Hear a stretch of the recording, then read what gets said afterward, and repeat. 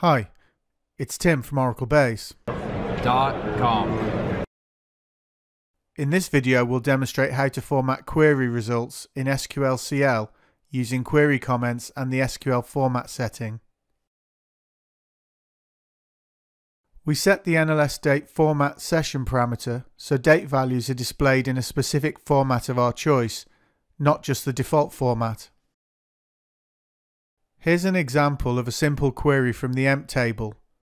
We've limited the number of columns and rows so the output fits on the screen a little better, but we could have just done select star from the table. We've repeated the previous query, but added the CSV comment. This tells SQLCL we want the output in CSV format. We can see the first row of the output is the column names in uppercase, followed by the data in CSV format.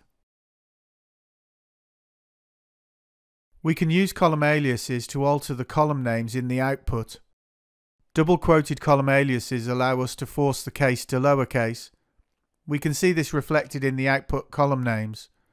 We can use column aliases in a similar way for the following examples, but to keep things simple we're not going to.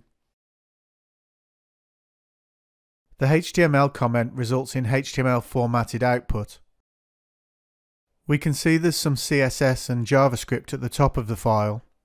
Then we get to the body, where there's a table defined containing the data. At the bottom we also get a comment showing the SQL statement that was used to generate the output. If we spool the output to a file and open it in a browser, we can see the data displayed in a grid. We can search for rows using the search box on the top left of the page we can see the output is filtered by the contents of the search box. Here we've used the JSON comment.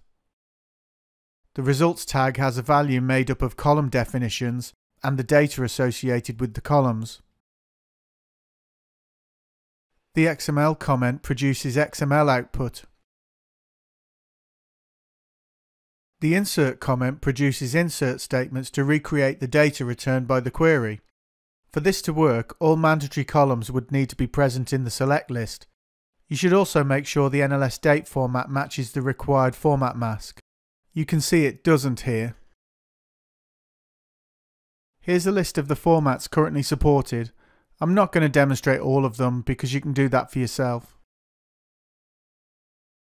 Rather than adding the format comment, we can use the SQL format setting.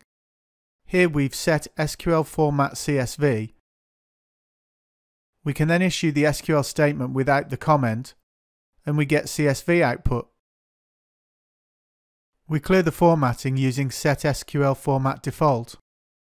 We could use this approach for any of the supported formats listed previously.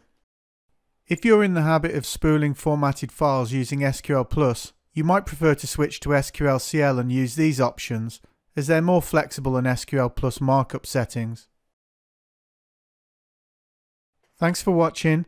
As always, there are links to articles containing lots more information about this subject in the description box below.